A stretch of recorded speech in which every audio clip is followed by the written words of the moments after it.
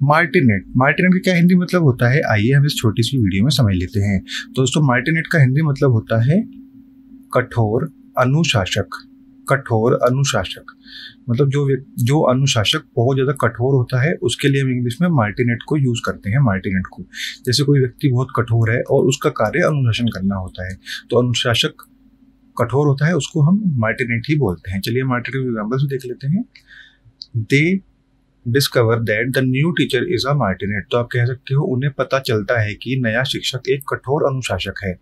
मतलब उसकी जो प्रवृत्ति है, उसकी जो बात करने की प्रवृत्ति है, बहुत कठोर है।